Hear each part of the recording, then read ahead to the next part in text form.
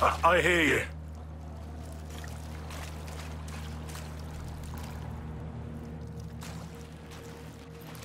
Andraste, have mercy. You, you shouldn't be here.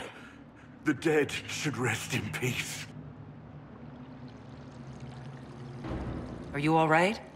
You don't look so good. Am I dreaming this? The dead asking a dead man if he's all right? You skipped over too much. Look at the poor man. Alexius's spell didn't kill us. It sent us forward in time. That's how we survived. Forward in time? I don't understand.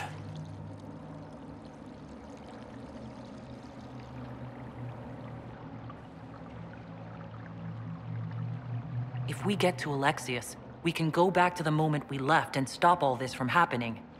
Maybe I've just gone mad.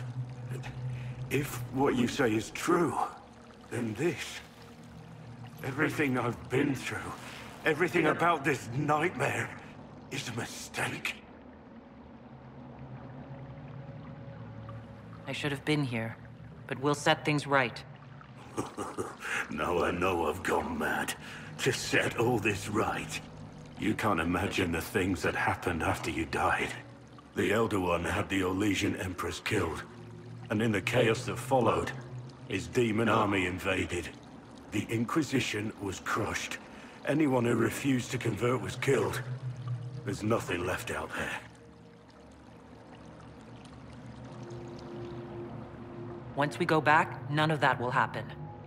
I hope you're right.